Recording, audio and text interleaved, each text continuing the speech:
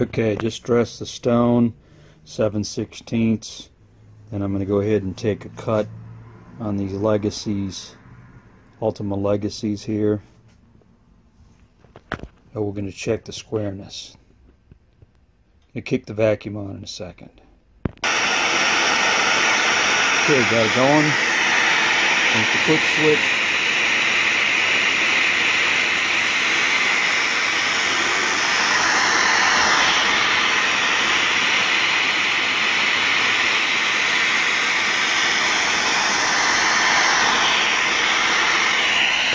One little place here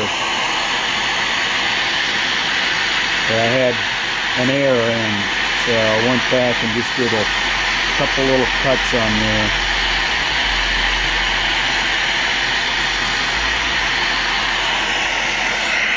Take one last cut.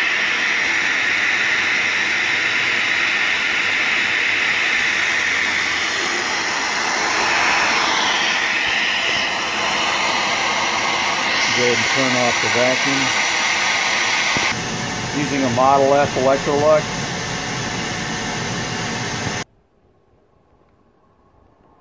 Okay, got the skate still in the holder, but I've got it off the machine.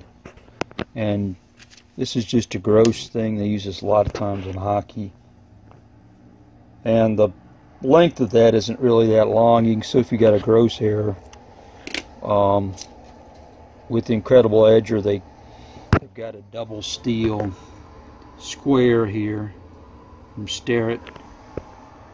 And I'm going to do this first with it in the holder here. You can actually put this down so the flat of this is actually touching the blade. And you can sight along here to see. It may be difficult to photograph. And down here I can go through and see that that's correct. You can go farther down. I can take this out of the holder to look at it or I can go through and shorten this up.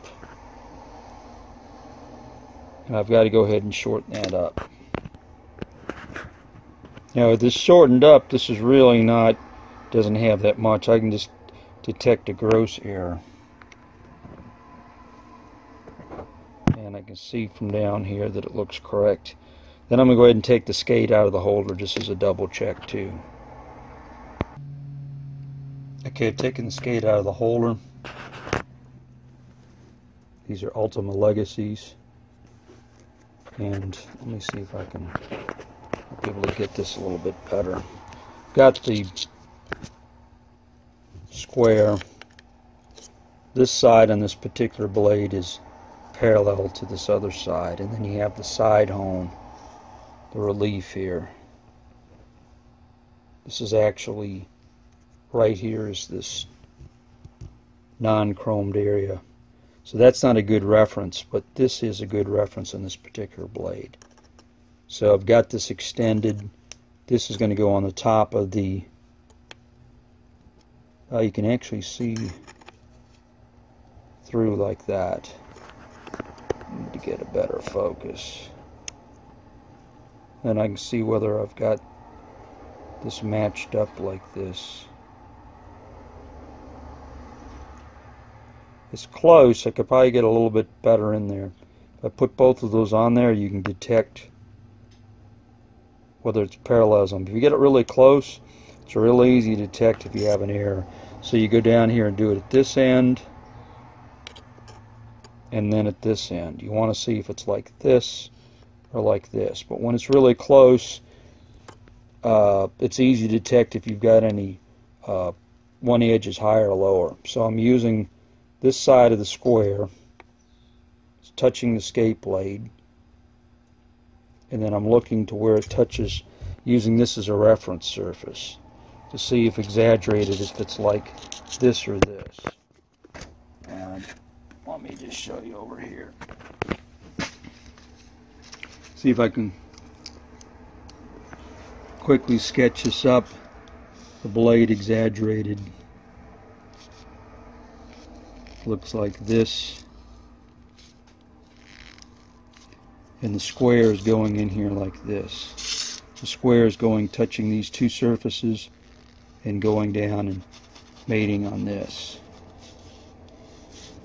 to see if it's like this or like this. So if it touches right over here, you can see a gap that's going over, or if it touches down here and you see the gap over here, it means that this is low and this is high. So with this type of thing, uh, is basically doing the same as this, but it's a lot more, a little bit more accurate to see. Um, depends how finicky you are, whether one inch is either high or low or not. Uh, it can make a lot of difference with some skates, some skaters. This has got a 7 16 inch.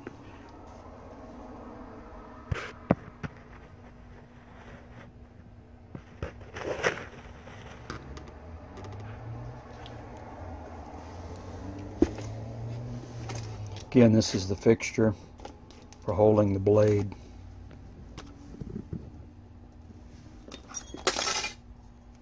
This goes on here like this.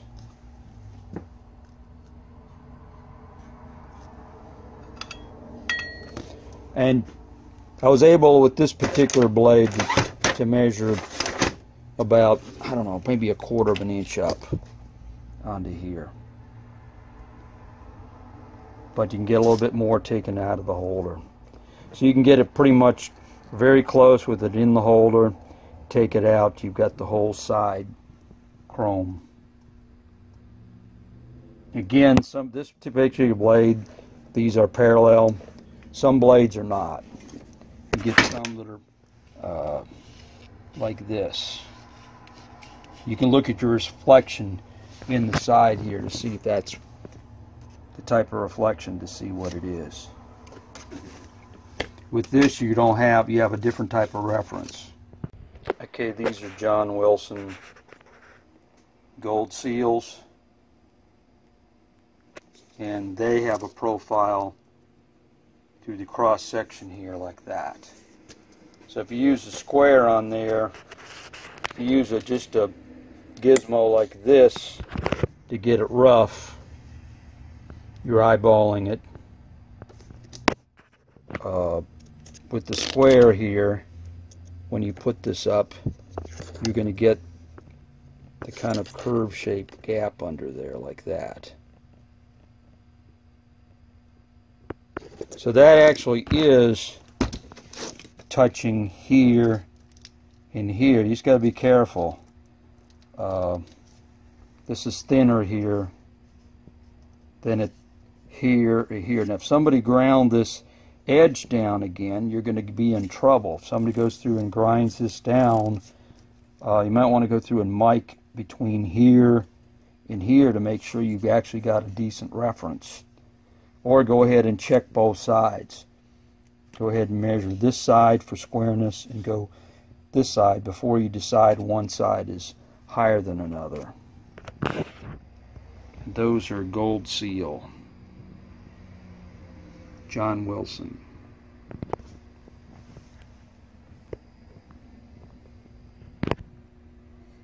Okay, with these Paramount blades, with kind of like the diamond cross section where that's aluminum, the question lies is what do you have for a reference? You know, you can put a gizmo like this on here and uh, make sure you got a real long baseline. If you get the square on here like this, what are you actually measuring to? You're going to measure the spot side of this stanchion right here. You've got one spot. Extending that down. Let's go look at that real quick. The surface I clamped with the skate holder through here, I could go theoretically and put the square on here and measure with respect to that and flip it over and then have this as a reference surface. But again, I'm only going to have a surface here, one right through here, and maybe down through here. which is a little bit exciting to figure out if you're actually on the money or not.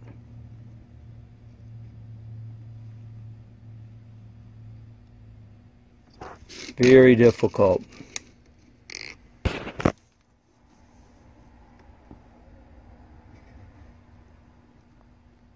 You just wonder if you should have a fixture grabs the side and have a magnetic one and have a long moment arm here, longer arm to see if any there's any crosshair.